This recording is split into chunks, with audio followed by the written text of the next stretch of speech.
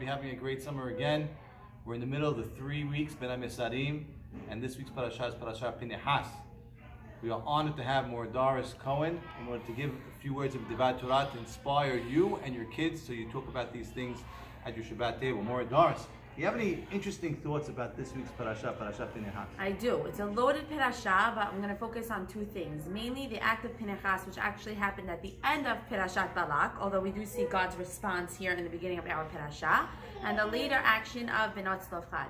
Basically, these are both different acts in which we see people sticking up for what they believe is right in very different ways. Pinchas obviously is a zealot, and so he performs in a very extreme manner, but ultimately is rewarded by Hakadosh Baruch Hu because he says, "I now no longer want to destroy the nation, and I'm happy that I see someone sticking up for my values." With Benot Tzlofchad, we see that they were missing in terms of inheritance, and they decided that this was a problem, and they stood up to Moshe and ended up changing the law for all of Bnei Israel in the future.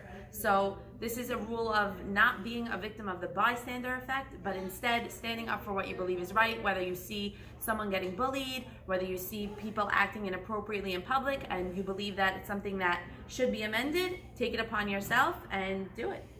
Thank you, Morah Doris. Shabbat Shalom to the entire Barkai family. Have a great day.